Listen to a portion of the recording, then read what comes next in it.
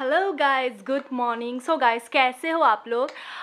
सो uh, guys आज ना मैं थोड़ी सी लिटिल बिट कंफ्यूज हूँ लिटिल बिट नर्वस भी हूँ। वो क्यों? बिकॉज़ आज मेरी छोटी सी बेटी, जो कि थोड़ी सी बड़ी हो चुकी है, वो आज फ़र्स्ट टाइम स्टेज परफॉर्म करने वाली है। यस गाइस जैसे कि आपको पता है कि मैं असम से बिलोंग करती हूँ और हमारी असम में बिहू हमारी ट्रेडिशनल फेस्टिवल है। सो ऑब्वियसली बिहू है घर के सामने ही तो वहाँ पे आज स्टेज परफॉर्म करने वाली है। मेरी एकदम से फिंगर क्रॉस है बिकॉज़ वो कभी भी मतलब ऐसा नहीं कहा हाँ स्कूल में क्या है, लेकिन यू नो सोशलाइज कभी भी नहीं किया एंड सो uh, so, थोड़ी सी नर्वस हूँ मैं बट लेट्स सी क्या होता है। तो गाइस यहाँ पे मेरी मम्मा भी आ गई है। एक्चुअली मैंने उनको इनवाइट किया था हमारे यहाँ पे व्यू देखने के लिए एंड ऑल्सो मेरी बेटी का फ़र्स्ट परफॉर्मेंस था तो इसलिए मैंने मम्मा को बुला लिया था। बस देख लो। जो भी हो ना, अगर आप लाइव देखते हो और उसके बाद अगर मोबाइल में देखते हो ना उसको ना इतना अच्छा नहीं लगता है। अगर आप लाइव देखते हो ना, वो ज़्यादा अच्छा लगता है। तो इसलिए मेरी मम्मा बहुत डिस्परेट थी। इसलिए मैंने मम्मा को बुला लिया।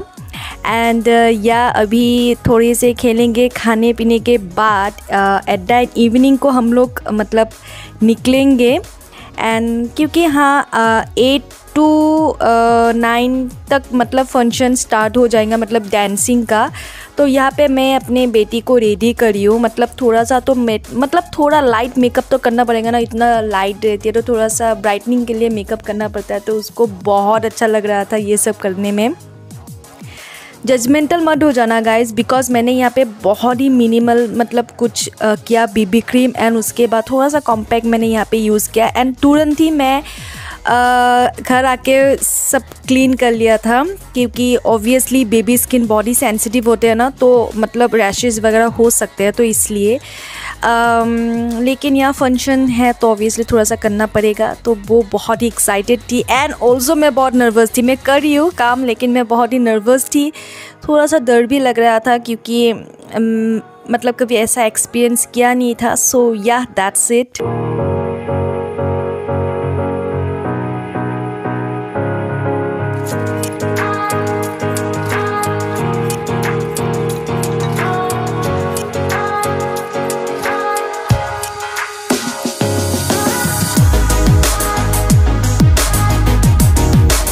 अभी हम लोग हो चुके पूरी तरह से रेडी, मेरी बेटी भी रेडी है तो अब हम लोग जाएँगे। तो हम लोग, हमारे घर के सामने है तो इसलिए हम लोग पैदल ही जाएँगे। सो हम मतलब मैं, मेरी सासू, मॉम एंड उसके बाद मेरी मम्मा, हम तीनों ही हैं तो हम तीनों ही जाएँगे अभी। मतलब हम चारों जाएँगे। एंड दिस इज़ यहाँ पे आप देख सकते हो कितना क्राउड है, बहुत अच्छा लग रहा था, बहुत ही अच्छा परफॉर्मेंस था। मतलब सब कुछ तो ये है। उसके बाद मेरी बेटी आएगी उसका परफॉर्मेंस देखना है। प्लीज़ आप लोग प्लेस करना और कमेंट और कमेंट में ज़रूर बताने कि आप लोग को कैसा लगा। एंड या uh,